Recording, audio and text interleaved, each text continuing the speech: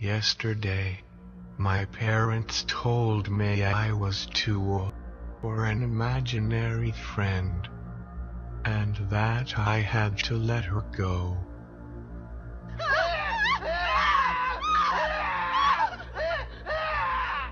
They just found her body